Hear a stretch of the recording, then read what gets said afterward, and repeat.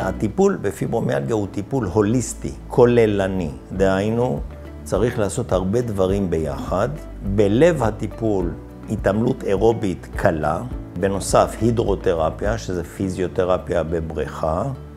טאי צ'י, CBT, טיפול קוגניטיבי התנהגותי, שמלמד אותם לשלוט על גובה הלהבות, הייתי אומר, של הכאבים והסימפטומים.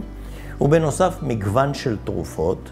כל התרופות האלה בעצם פותחו לדברים אחרים בכלל, ולבסוף הסתבר שהן מצוינות גם לכאבים. אין מספיק עבודות כיום משכנעות למתן קנאביס אה, לפיברומיאלגיה, וזה גם לא נמצא בהתוויה בארץ, אבל יש עבודות כאלה שנעשות כיום, ויהיו לנו את התשובות האלו.